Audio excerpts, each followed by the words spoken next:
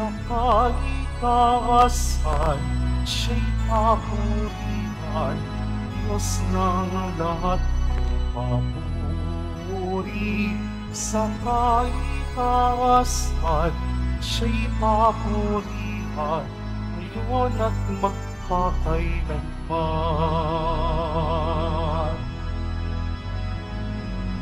Mawi ang lahat ng naroon.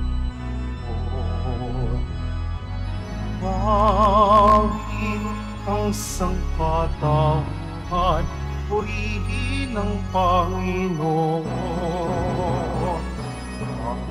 Papuri sa pagkakasan, siya'y papurihan, Diyos ng lahat. Papuri sa kalikasan, siya'y papurihan, ngayon at magpakailanman. Sa ngalan ng Ama at ng Anak at ng Espiritu Santo, Amen. ang pagpapala ng ating Panginoong Heso Kristo, ang pag-ibig ng Diyos Ama, at ang pakikipagkaisa ng Espiritu Santo, naway sumainyong lahat. At sumayo rin. Mga kapatid, tinipon tayo bilang kaanib ng angka ng Diyos. Kaya dumulog tayo sa mawaing Panginoon na nagpapatawad ng lubos. Sinugong tagapagpagaling sa mga nagsisisi, Panginoon, kaawaan mo kami. Panginoon, kaawaan mo kami. Dumating na tagapag-anyayang mga makasalanan ay magsisi, Kristo, kaawaan mo kami. Kristo, kaawaan mo kami. Nakaluklok ka sa kanan ng Diyos Ama para ipamagitan kami. Panginoon, kaawaan mo kami. Panginoon, kaawaan mo kami. Kaawaan tayo ng makapangyarihang Diyos, patawarin tayo sa ating mga kasalanan at patnubayan tayo sa buhay na walang hanggan. Amen. Manalangin tayo. Ama naming makapangyarihan, sa iyo nagmumula ang tanang kabutihan. Pagbigyan mo ang aming mga kahilingan na iyong patnubay. Ang iyong mga kinalulugdan ay aming mapag-isipan at sa iyong pag-akay, ang mga ito ay aming magampanan. Sa pamamagitan ni Heso Kristo, kasama ng Espiritu Santo, magpasawalang hanggan. Amen. Magsiupo muna ang lahat. Pagbasa mula sa unang aklat ng mga hari. Noong mga araw na iyon, umalis si Elias mula sa bundok at natagpuan niya si Eliseo na nag-aararo. Labindalawang pares ng toro ang ginagamit niya at kaagapay siya ng huling pares. Pagdaan ni Elias sa tapat ni Eliseo, isinuklob niya rito ang kanyang balabal. Pagdakay, iniwan ni Eliseo ang mga toro. Humabol kay Elias at nakiusap.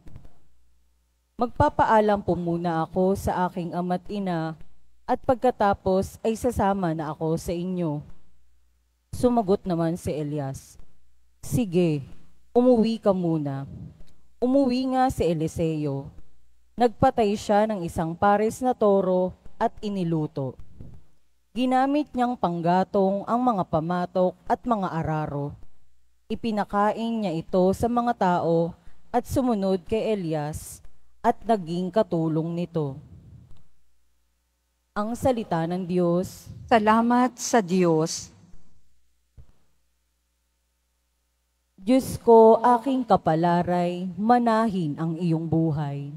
Diyos ko, aking kapalaray, manahin ng iyong buhay. O Diyos, ako'y ingatan mo. Ingatan ang inyong lingkod.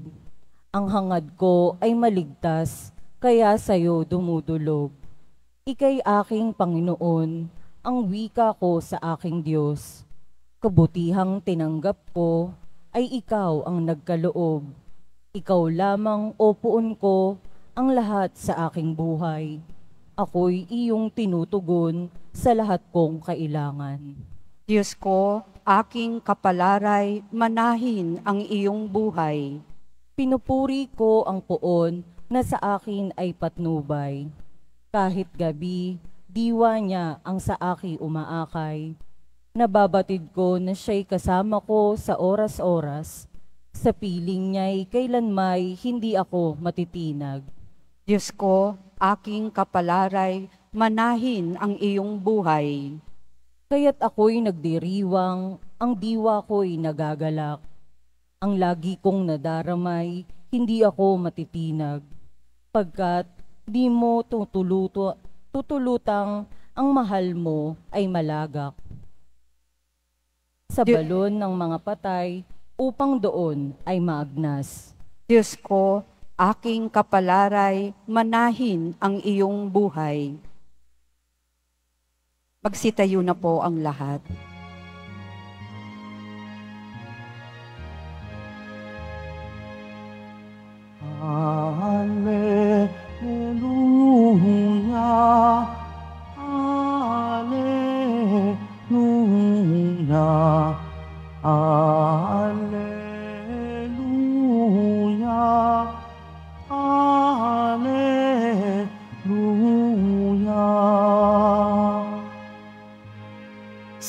Salita mo akitin ang puso ko at loobin nang ikaw ay aking sundin.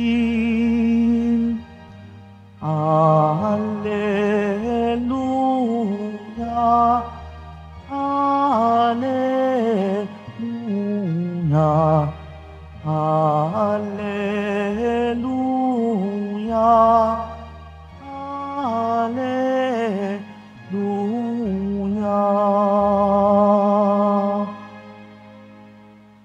Sumainyo ang Panginoon. At sumayo rin.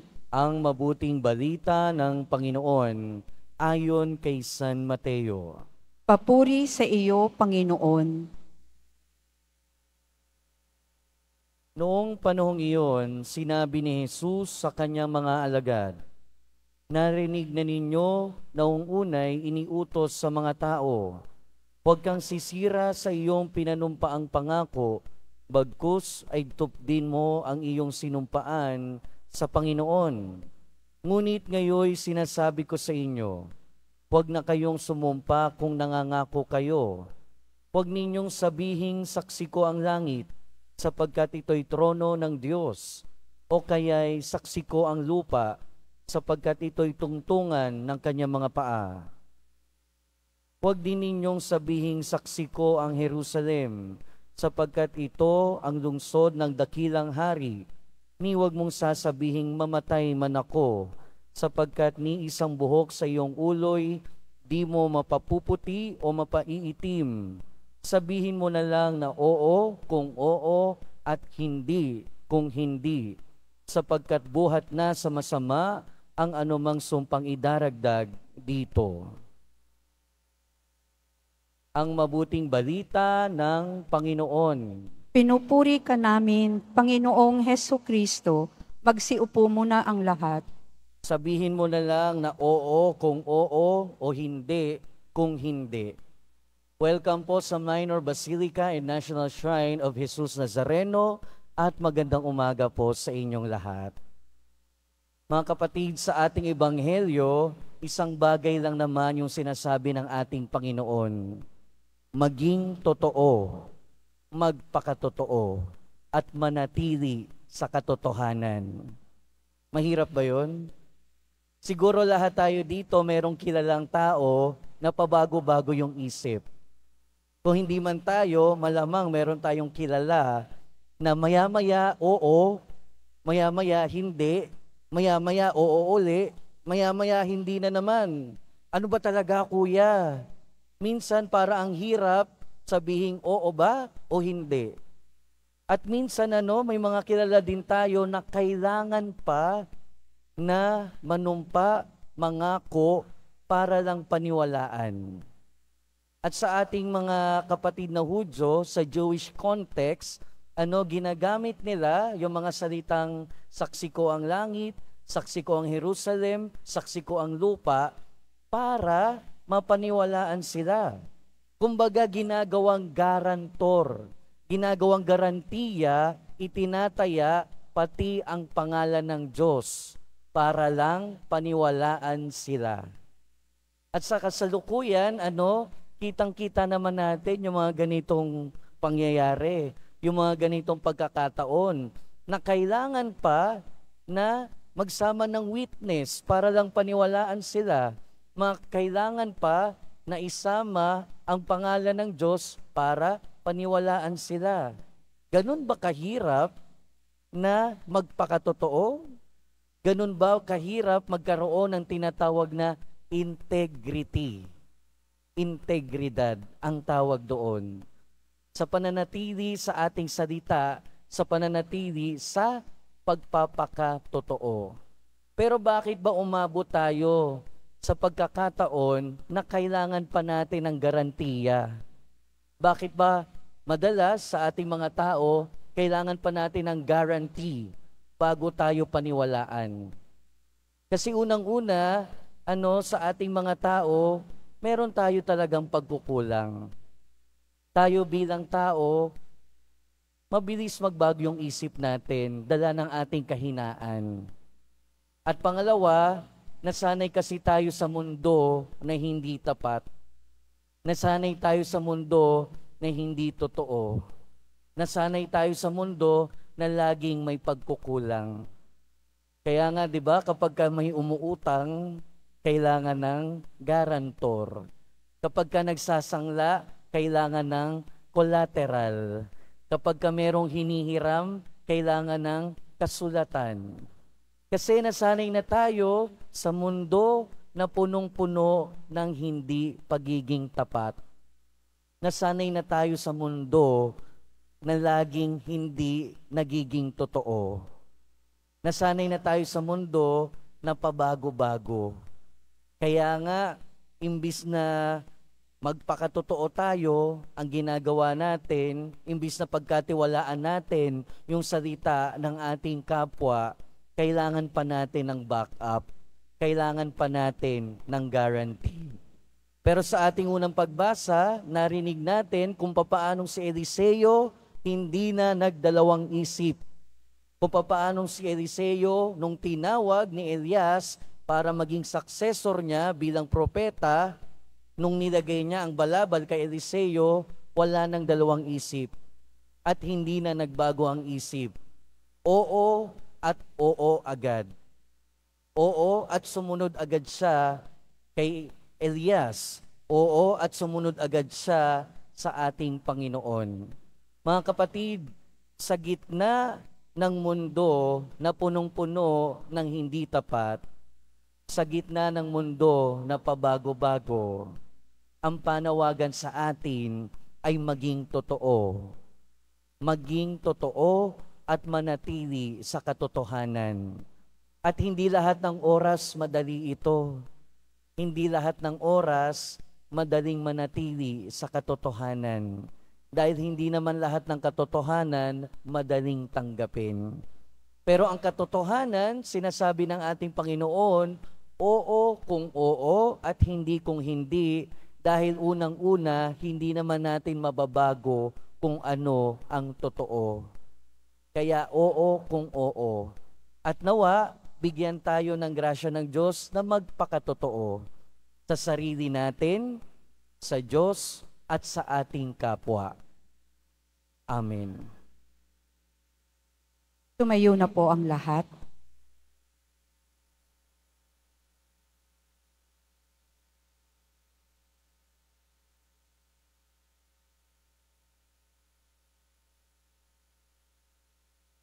Minamahal kong mga kapatid, nangangailangan ng ganap na pagbabago ng puso at pag-uugali ang wagas na pagtalikod sa kasalanan.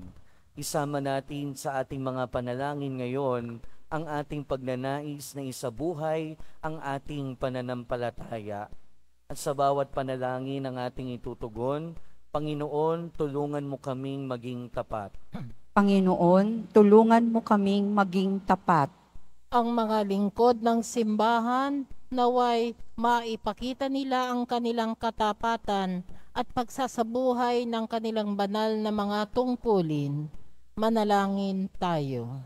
Panginoon, tulungan mo kaming maging tapat.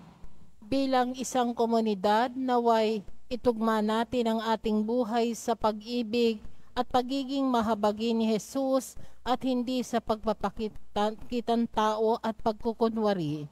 Manalangin tayo. Panginoon, tulungan mo kaming maging tapat.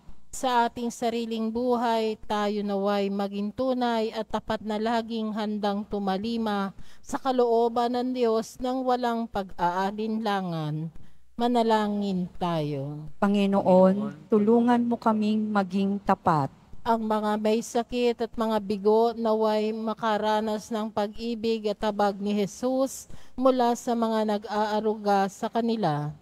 Manalangin tayo. Panginoon, tulungan mo kaming maging tapat. ang mga namatay naway tumanggap ng walang hanggang kaligayahan sa kaharian ng Diyos. Manalangin tayo. Panginoon, tulungan mo kaming maging tapat. Ama naming nasa langit, higit mong pagyamanin ang biyayang ipinagkakaloob mo sa amin.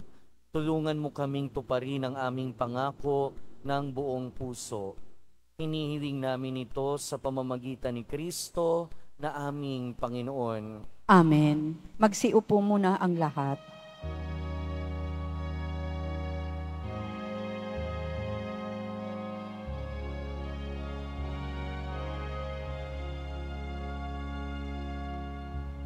Aming alay sa'yo, Panginoon.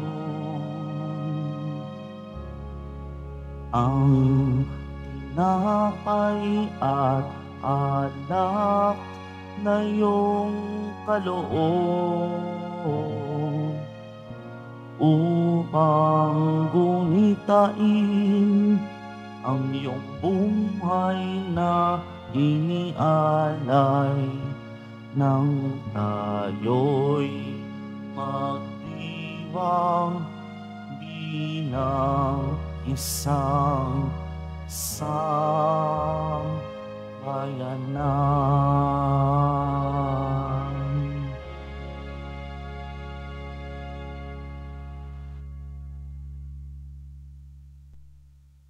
Tumayo na po ang lahat.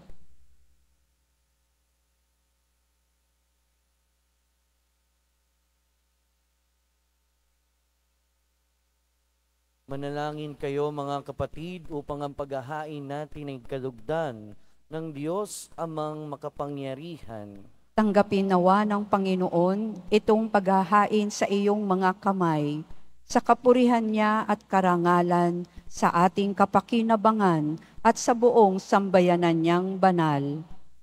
Ama naming lumikha, tunghayan mo at kalugdan ang paglilingkod na aming ginagampanan, upang ang aming inihahain ay iyong marapatin, at ang aming pag-ibig ay iyong pag-alabin. Sa pamamagitan ni Yeso Kristo, kasama ng Espiritu Santo, magpasawalang hanggan, Amen. sumainyo ang Panginoon. At sumaiyo rin, Itaas sa Diyos ang inyong puso at diwa. Itinaas na namin sa Panginoon. Pasalamatan natin ang Panginoong ating Diyos. Marapat na siya ay pasalamatan. Ama naming makapangyarihan, tunay ngang marapat na ikaw ay aming pasalamatan. Pinagbibigyan mong ito'y aming maihayag, kahit na ito'y walang anumang maidaragdag, sa kadakilaang sa iyo ay lakas. Sa pagpupuri nami ang nakikinabang, ay kami ring iyong pinakikiharapan sa pamamagitan ng iyong anak na minamahal. Kaya kaisa ng mga anghel na nagsisiawit ng papuri sa iyo nang walang humpay sa kalangitan, kami nagbubunyi sa iyong kadakilaan. Santo, Santo, Santo, Panginoong Diyos ng mga hukbo, Napupuno ang langit at lupa ng kadakilaan mo, o sana sa kaitaasan, pinagpala ang naparirito sa ngalan ng Panginoon, o sana sa kaitaasan. Magsiluhod po ang lahat. Ama naming banal, ikaw ang bukal ng tanang kabanalan. Kaya't sa pamamagitan ng iyong Espiritu, gawin mong banal ang kaloob na ito upang para sa aming maging katawan at dugo ng aming Panginoong Heso Kristo. Bago niya pinagtiis ang pusang loob na maging handog, tinawakan niya ang tinapay, pinasalamatan kaniya, pinaghati-hati niya iyon, iniabot sa kanyang mga alagad at sinabi, Tanggapin ninyong lahat ito at kanin. Ito ang aking katawan na ihahandog para sa inyo.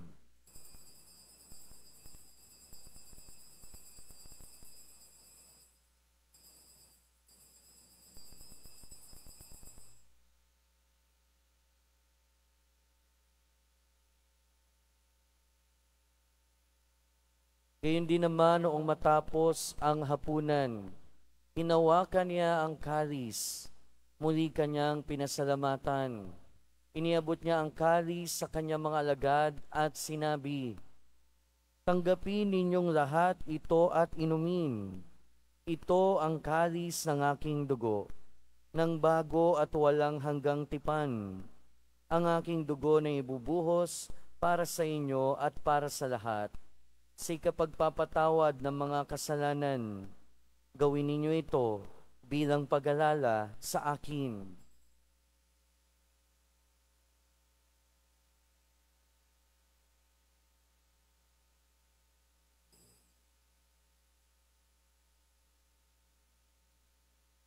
Tumayo na po ang lahat.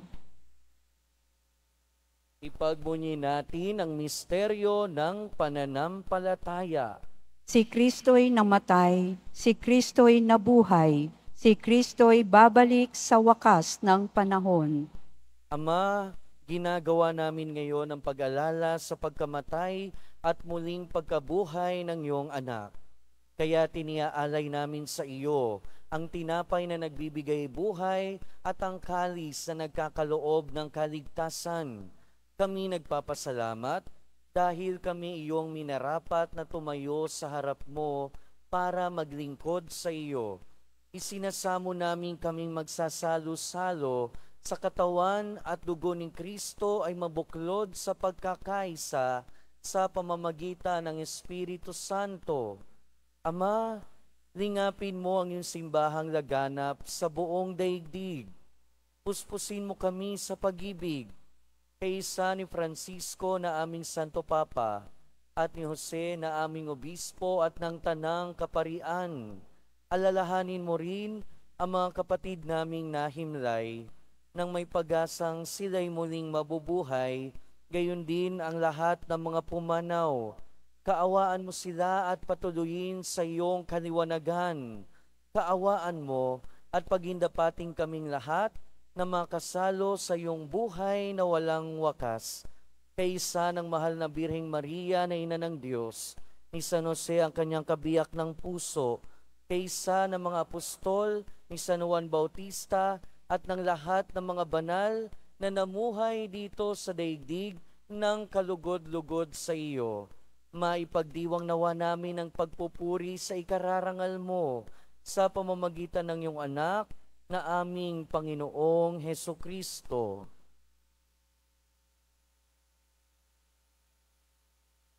Sa pamamagitan ni Kristo, kasama niya at sa Kanya, ang lahat ng parangal at papuri ay sa iyo, Diyos amang makapangyarihan, kasama ng Espiritu Santo, magpasawalang hanggan. Amen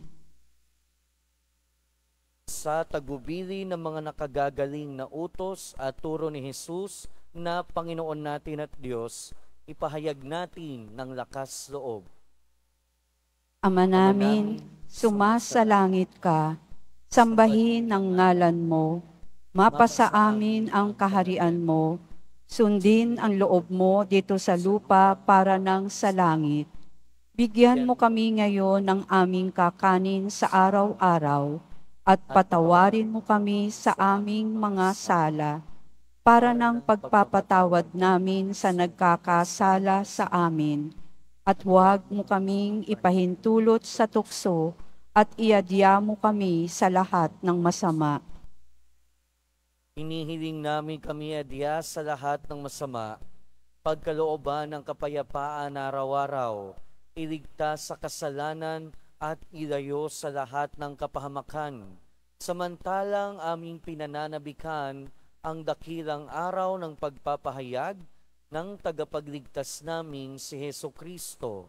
sapagkat iyo ang kaharian at ang kapangyarihan at ang kapurihan magpakailanman. Amen. Panginoong Heso Kristo, sinabi mo sa iyong mga apostol, Kapayapaan ang iniiwan ko sa inyo.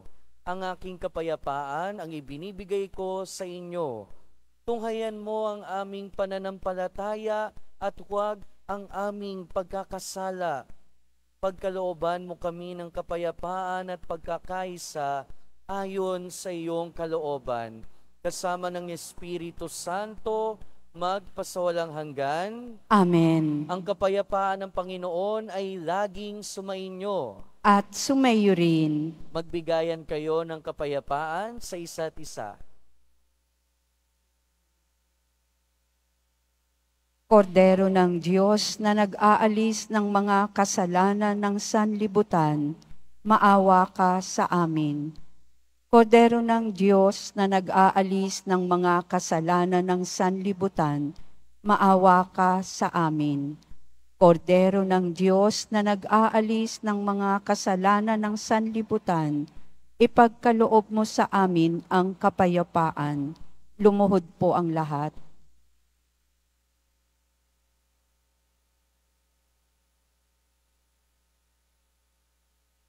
Ito ang kordero ng Diyos. Ito ang nag-aalis ng kasalanan ng sanlibutan. Mapalad ang mga inaanyayahan sa kanyang piging. Panginoon, hindi ako karapat-dapat na magpatuloy sa iyo, ngunit sa isang salita mo lamang ay gagaling na ako.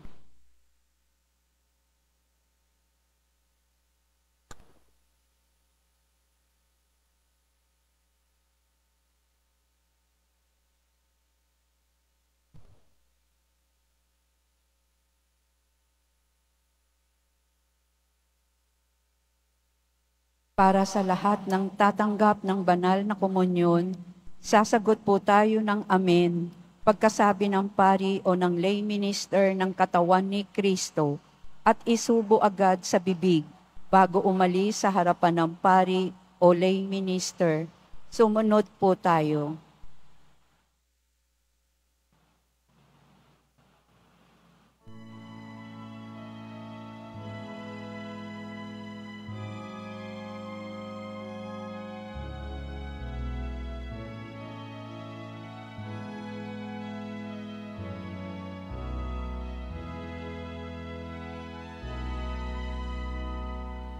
Sa higing na ito, ating pagsanin ang katawat dugo ni Yesu Kristo, siya'y ating lakas at tanggungan, Panginoon Diyos nating lahat.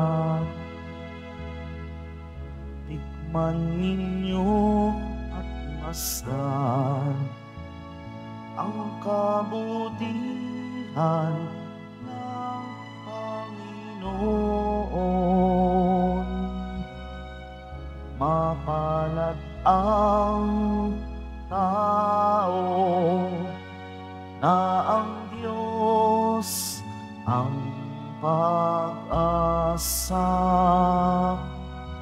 sa piging na ito ating pagsalihan katawat dugo ni Jesu Kristo, siya'y ating lakas at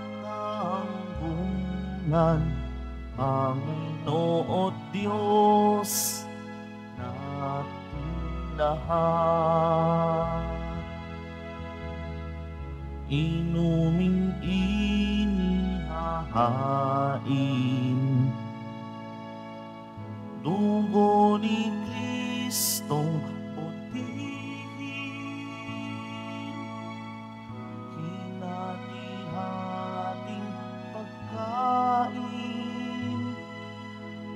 Katawang alay sa ni Jesus para sa atin. Sa piging ating pagsaluhan ang katawat dugo ni Jesu Kristo siya'y ating lakas at tanggulan Panginoon Diyos nating lahat. Sa piging na ito, ating pagsaluhan ang katawat dugo ni Jesu Kristo. Siya'y ating lakas at tanggulan, Panginoon Diyos nating lahat. Tikman ninyo at masdan ang kabutihan ng Panginoon. Mapalad ang tao na ang Diyos ang pag-asa sa piging na ito ating pagsalungat ang katawat dugo ni Jesu Kristo siya'y ating lakas at tanggulan Panginoon Diyos nating lahat.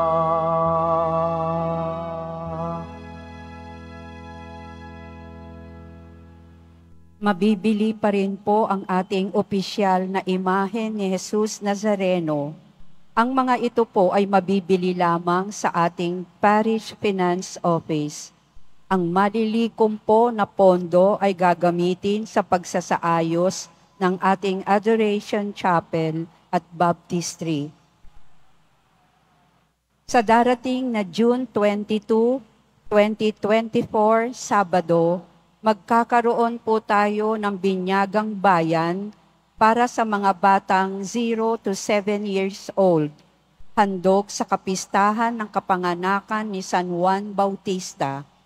Sa mga nagnanais, maaari kayong pumunta sa records office ng parokya na matatagpuan sa ground floor ng Cardinal Sin Building mula 8 ng umaga hanggang 5 p.m. ng hapon. Para sa mga katanungan at detalye, maaari kayong mag-message o pumunta sa FB page ng parokya. Ang huling pagpapatala o pagpapalista ay sa June 18, 2024, Martes. Pagkatapos ng misa, wiwisikan po ang lahat ng banal na tubig. Pinakikiusapan ng lahat na manatili lamang muna sa inyong mga lugar Tanging sa Quezon Boulevard o sa Plaza San Juan lamang ang labasan ng lahat. Sumunod po tayo. Maraming salamat po sa inyong pagdalaw at pagsisimba sa Basilica Menor at Pambansang Dambana ni Jesus Nazareno. Tumayo na po ang lahat. Manalangin tayo. Ama naming mapagmahal, ang pagganap sa iyong pagbibigay kagalingan ay pumawi nawa sa aming mga nagawang pagsuway. Ay may dulot nawa ng iyong mga kinalulugdan sa pamamagitan ni Heso Kristo kasama ng Espiritu Santo magpasawalang hanggan, Amen. sumainyo ang Panginoon. At sumayo rin. Mahal na poong Jesus Nazareno, inihayag mo sa pamamagitan ng krus ang walang maliw na pag-ibig ng Diyos sa sangkatauhan. Pakinggan mo ang kahilingan ng iyong angkan na nagsusumamo sa iyo. Makamtanawa nila ang iyong katugunan at tanggapin ang kasagutan na may utang na loob na tinatanaw. Basbasan din po ninyo ang mga daladala nilang imahen at dasalan sa pamamagitan ng bendisyon na ito naway maalala nila ang mga pangako nila noon sa binyag na ikaw lang ang kanilang iibigin at paglilingkuran bilang Panginoon magpasawalang hanggan Amen. at pagpalain kayo ng makapangyarihan at mapagmahal na Diyos ng Ama at ng Anak at ng Espiritu Santo. Amen. Humayo kayong taglayang kapayapaan ng poong Jesus Nazareno. Salamat sa Diyos.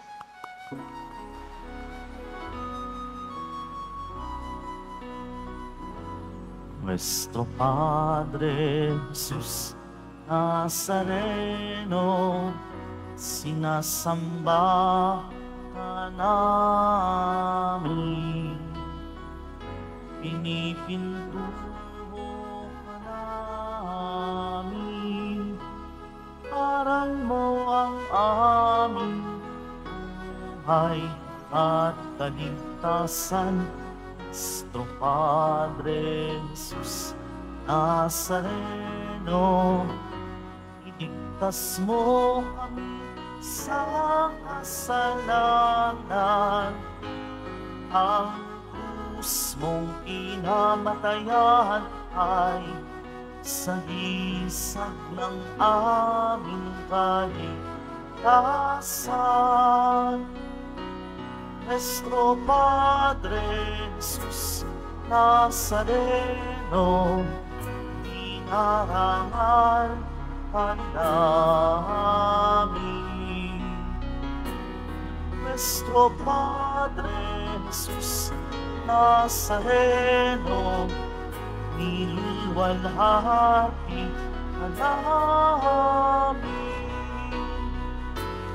Nuestro Padre Jesús Nazareno, dinarangal ka namin. Padre Jesús Nazareno, inulwalhati ka namin.